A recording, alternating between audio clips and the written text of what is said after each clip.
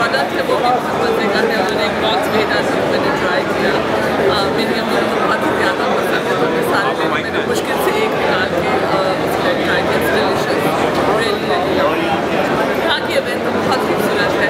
और um, I think जो image project करना चाह रहे हैं कि ये बहुत ही रिच और um, एक अच्छा प्रोडक्ट है। इसी लिहाज से उन्होंने ये एक सेट बनाया है।